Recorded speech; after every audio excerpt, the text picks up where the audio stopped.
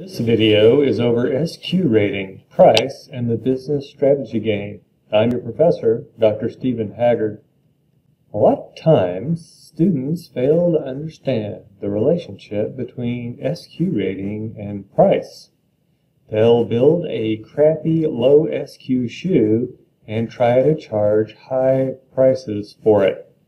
Just in case you hadn't already figured out, this is not going to work.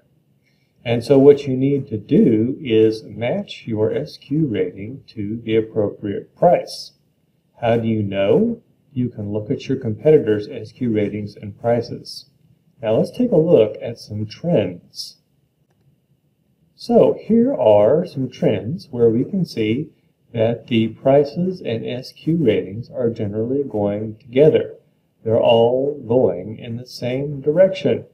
This is what it should look like.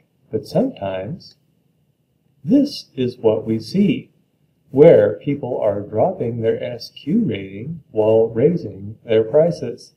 This is a recipe for disaster. I don't recommend this at all, unless you have just figured out that you were way undercharging for your very high quality shoe there's really no excuse for this pattern. Once again, if you raise your SQ rating, typically that means you can raise your price. If you're going to lower your SQ rating, typically that means you will need to lower your price. Finally, what do I always say at the end of these lessons? You need to read the flippin' player's guide. Folks, there are so many good things in the player's guide and oftentimes, when a team is giving a presentation talking about what they did correctly in the game, someone raises their hand, raises their hand and says, "To what would you give the most credit for your victory?" And they said, "We read the player's guide." Now, is that because the player's guide gives you special magical insights into the inner workings of the game?